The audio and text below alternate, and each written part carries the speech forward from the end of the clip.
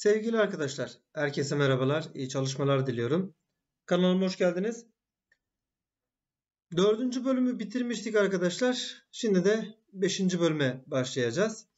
Beşinci bölümde eşkenar üçgen başlığımız var ve toplamda da yedi tane kazanımımız var. Yedisini de beraber sizlerle çözüp sonrasında yine tarama testi, konu testi ve ÖSYS yani çıkmış sınav sorularını çözüp daha sonrasında diğer bölüme geçiş yapacağız. Evet şimdi eşkenar üçgenin tanımı nedir? Önce açıklamalı çözümümüze bakalım. E, Tabi şu an videoya geldiysen artık bir beğeniyi unutmazsınız. Bu da sizin ödeviniz olsun. Videoyu beğenmeyi unutmazsak seviniriz arkadaşlar. Başlayalım çözümlerimize. Önce bir konu anlatımına bakalım demiştik. Evet. Şimdi bir eşkenar üçgen aldığımızda eşkenar üçgen nedir bu arada eşkenar üçgen? Hocam kenarları eş. Orayı biliyoruz. Orayı geç diyorsundur belki. Evet. Ama gençler bakın burayı. Buraya dikkat. Buraya dikkat. Buraya hepsine tüm kenarlara çift çizgi ya da yuvarlak ya da tek çizgi yani belirtmen gerekiyor. Bunları koyman gerekiyor. Koymadığın takdirde buna bağlantılı olan başka bir üçgenin ikizliğini göremiyoruz. Göre, göremiyoruz soruda. O yüzden tüm kenarların birbirine eşit olduğunu gösterin. Sorularda gösterin. Sonra her iç açısı 60 derecedir. 60, 60, 60. Toplamları zaten 180. Bunları bileceğiz. 60'ları bileceğiz ve üç kenarında birbirine eşit olduğunu bileceğiz. Kenar uzunlukları eşit olan üçgenlere eşkenar üçgen denir. Formülümüz bu. Tanımımız bu daha doğrusu. Rehber sorudan başlayalım. Şimdi birinci sor, e, rehber sorumuzda ABC ile CED eşkenar üçgenmiş. O zaman bak buraya A diyelim. O zaman burada A olacak. Burada A olacaktır. Diğerlerine B, B, B dersek. BE 8 cm. Bak B'den E'ye kadar olan köşe. Yani A ile B'nin toplamı ne geldi? 8. E çevre ABC zaten çevre ABC 3A. Çevre CED o da 3B. 3B burası 0 gibi görünmüş. Bunların toplamını istiyorlar bizden. Kaç santimetre olduğunu. Burayı 3 parantezine aldığımızda A artı B. Şimdi A artı B yerine götürüp 8'i yazarsam 3 çarpı 8'den doğru cevap 24 santimetre olacaktır. Evet rehber sorumuz gayet basit ve klasik bir soruydu. Geldik ikinci soruya. ABC eşkenar üçgenin kenar uzunlukları 2x eksi 6 santimetre, x artı 1 santimetre ve 3y artı 2 santimetreymiş. Şimdi arkadaşlar bir klasik sembol olsun diye bir ABC eşkenar üçgeni alalım şöyle. Bu kenarlardan biri 2x eksi 6. Şuraya 2x eksi 6 diyelim. Diğeri x artı 1'miş. Oraya da sağ tarafa x artı 1 diyelim. Burası da 3y artı 2. Şimdi kenarlar bunlar. E bu nasıl bir üçgendi? Eş, kenar, üçgen. O zaman şöyle yapacağız. Üç kenarlar birbirine ne, ne olacak? Yani 2x eksi 6 x artı 1'e eşit. E çünkü kenar uzunlukları birbirine eşitler. 3y artı 2. Üçü de birbirine eşit. Biz şu x'lerle işlemler yapalım önce bir. Buradan denklem çözeceğiz. Şu x'i karşıya eksi 6'yı da diğer tarafa atarsam 2x eksi x eşittir. 1 artı 6 x eşittir 7. Tamam x'i bulduk. Ama cevap 7 değil. Neden? Çünkü senden y isteniyor.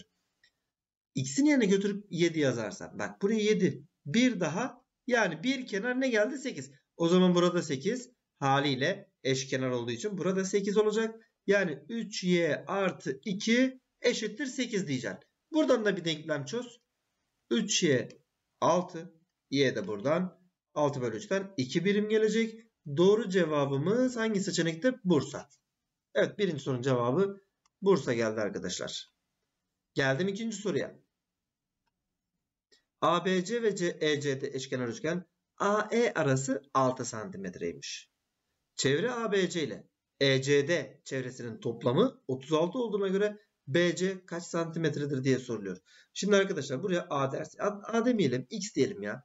X aynen daha güzel olacak. Buraya da X buraya da X dedik. O zaman büyük üçgende ABC üçgeninde bir kenar bak buranın AC kenarı toplamda 6 artı X ya da X artı 6. Zaten aynı şeydir. O zaman buraya da X artı 6 dedik. Şimdi ABC'nin çevresi 3 tane x artı 6'dan oluşuyor. Artı ECD'nin çevresi de 3x eşittir. Toplamları 36 soru vermiş. Burayı dağıtalım. 3x artı 18 artı bir daha 3x'imiz vardı. Eşittir 36. 18'i karşıya atıp şu 3x'leri de toplarsak 6x eşittir. 18 kalacak 36'dan 18'i çıkartınca. X'e de buradan 3 düşer arkadaşlar. E tamam x'i buldum. BC istiyor. X'ini yerine götürüp 3 yazarsam 3 ile de 6'yı topladığımızda doğru cevap 9 Bursa gelecektir. Evet geldik 3. soruya. Sarı renkli şeffaf bir kağıt ile mavi renkli şeffaf bir kağıt üst üste getirilip arkadan beyaz ışık verildiğinde bu kağıtların rengi yeşil olarak görünüyormuş. Ha, tamam. Yani sarı ile mavi üst üste gelecek ve ışığı vurdun mu yeşil çıkacak orada. Tamam. Şekilde beyaz ışık veren ekranın alt kenarına çakışık eşkenar üçgen biçimindeki şeffaf kağıtlar gösteriliyor. Burada eşkenar, burada eşkenarmış. İki kağıdın birbirine en yakın köşeleri arasındaki uzaklık 15 santimetredir. Sarı kağıt sağa doğru 9 santimetre. Şimdi sarı kağıdı sağa doğru 9 santimetre kaydırıyoruz. Yani buralara bir yerlere gelecektir. Şöyle bir üçgen oluşturalım hemen. Evet. Şöyle oldu. Sarı kağıdı biz 9 santimetre kaydırdığımızda buraya 9 buraya da 6 kalır arkadaşlar. Doğru mu? Mavi kağıt sola doğru. Bu sefer sola doğru 17 santimetre. Hemen mavi kağıdı da sola doğru. Bak burası zaten 15 ya. 2 daha gidersen toplamda 17 birim gitmiş olursun. Mantıklı mı? Bak şimdi tekrar ediyorum.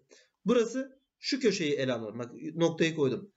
Buradan şuraya gelirsen 15 gelirsin. E bir iki daha gittiğinde toplamda 17 santimetre sola doğru kaydırmış olacaksın. Değil mi?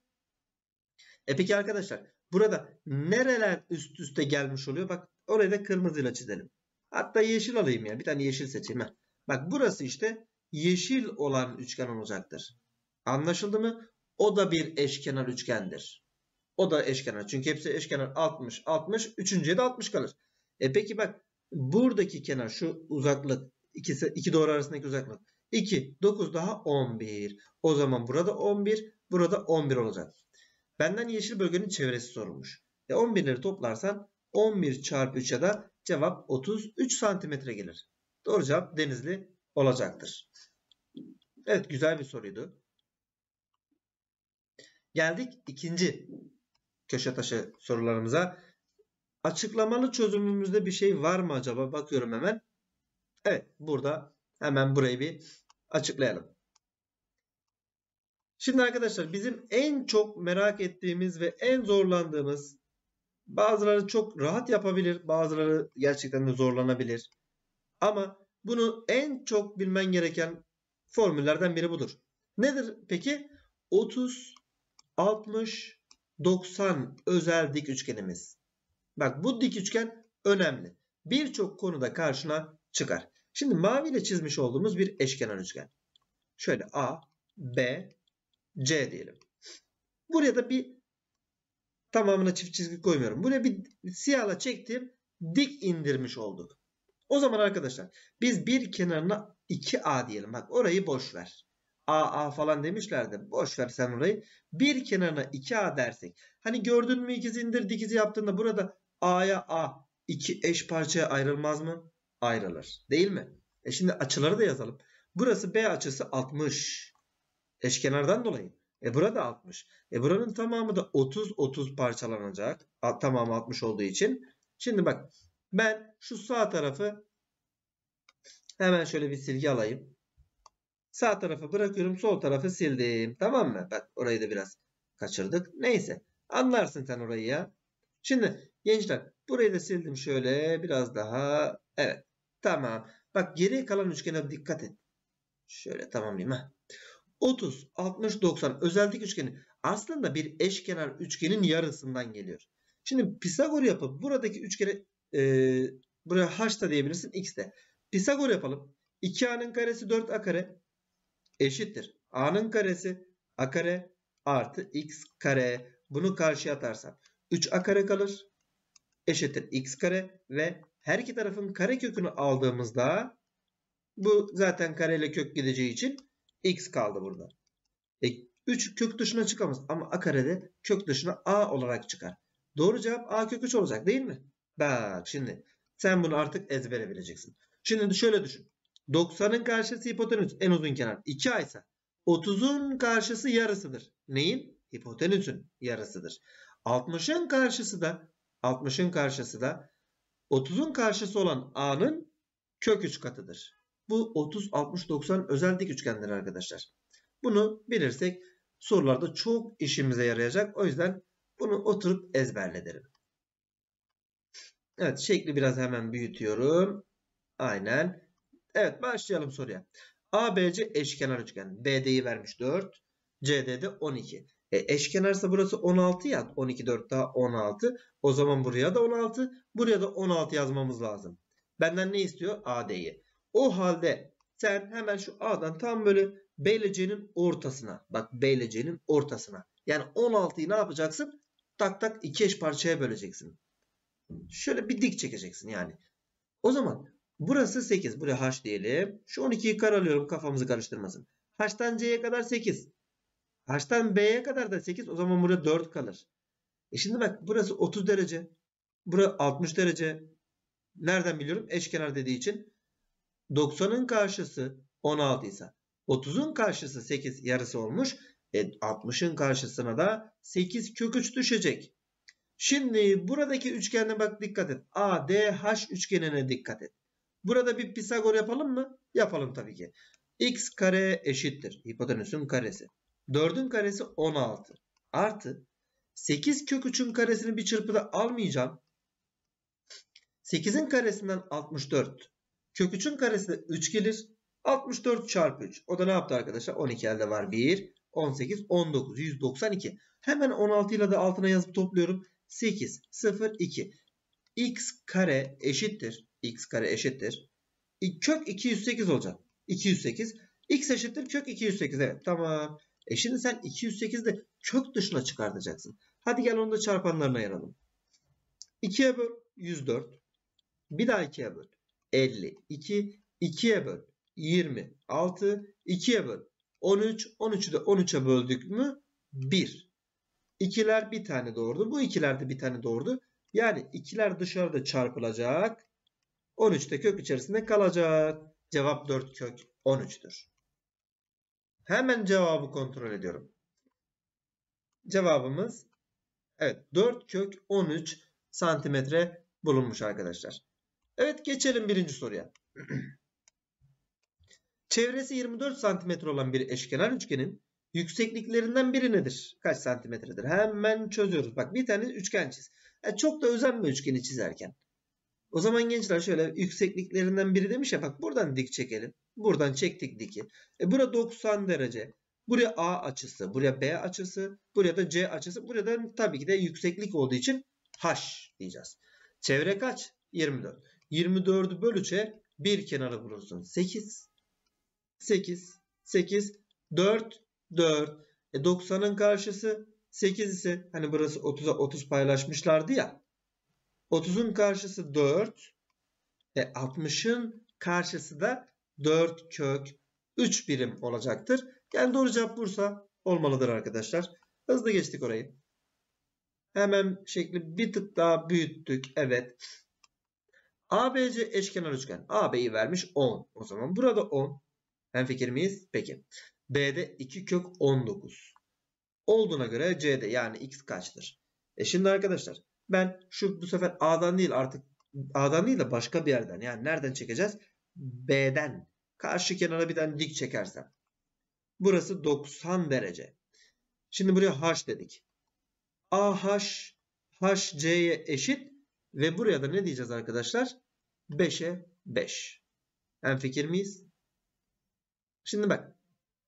Burası da BH kenarı da 5 kök 3. 60 yani bura. Burada 30 derece olmuştu. Parçalıyoruz iki eş parçaya çünkü 60'ı 30 derece. Burada 60, 30 tamam. 90'ın karşısı 10 sa 30'un karşısı 5, 60'ın karşısı 5 kök 3. Buraya da A diyeceğim. Bak iyi izle. Buradaki üçgende bir Pisagor yapacağız. Bu BD kenarı 2 kök 19 muydu? Evet soru vermişti bak. Şimdi 2 kök 19'un karesi 4 çarpı 19 eşittir. O da ne yapar arkadaşlar? 40, e, 36 daha 76 diyelim. Şunları siliyorum. Eşittir. 5 kök 3'ün karesi 25 çarpı 3 o da ne yaptı? 75 artı x'in pardon x değil. Oraya biz ne demiştik? a demiştik. a'nın karesine 75'i karşıya attım 1 kaldı. Neyin karesiydi 1? E tabii ki de 1'in. O zaman a'yı 1 bulduysak a 1 geldiyse e, h'tan c'ye kadar tamam 5 ya. Buraya da 4 santimetre kalır. Doğru cevabımız D seçeneği olmalıdır. Geldik 3. soruya. Bir kenarı 8 birim olan eşkenar üçgen biçimindeki bir karton A noktasından BC'ye dik biçimde kesiliyor. Tamam. 8, 8, 4, 4, 4 kök 3. Tamam buraya kadar sıkıntı yok. Ardından elde edilen iki parça yandaki gibi birbirinin dik e, uzun dik kenarı birinin uzun dik kenarı diğerinin kısa dik kenarı ile çakışacak biçimde yapıştırılıyor. Yani bu h üssü 90 buradaki k noktası da 90 derece olacak. Burası e, kısa olan kenar 4 bu hk'da 4 kök 3. O zaman burada 4 kök 3 burada kısa kenar 4. Ben bu 4'ü siliyorum. Şöyle HK'ya 4 kök 3 dedim. Tamam. Burada 4 kök 3. Burada tamam. Senden ne istiyor? H üssü L. X diyelim.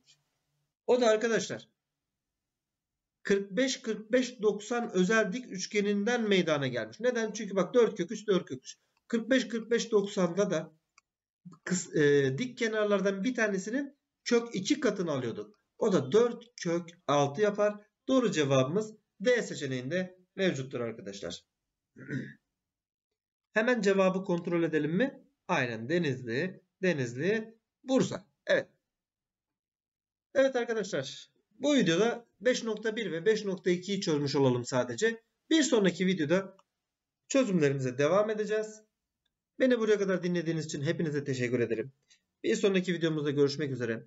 Hepinize iyi çalışmalar diliyorum. Hoşçakalın.